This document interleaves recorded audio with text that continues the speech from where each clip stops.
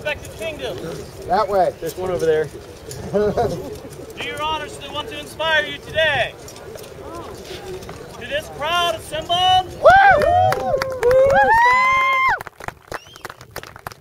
gentlemen, with chivalry always before you in your thoughts and victory your goal, lay on.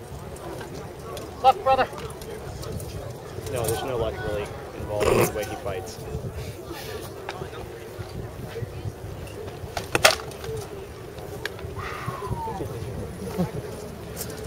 Oh yeah, he came a little long. He was.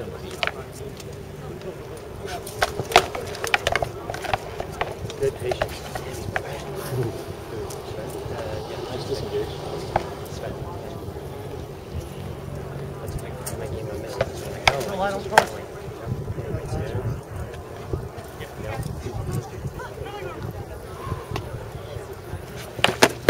Yes. Good body.